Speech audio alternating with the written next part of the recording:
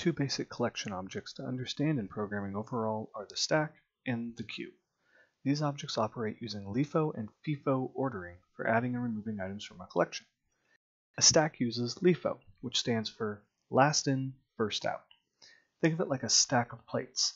The last plate put on top of the stack is the first plate I'd grab if I took a plate. So the last plate in is the first plate out. The previous plate I added to the stack would therefore be the next plate off the stack, and so on. It works from the last item added down to the first item added. A queue uses FIFO, which stands for first in, first out.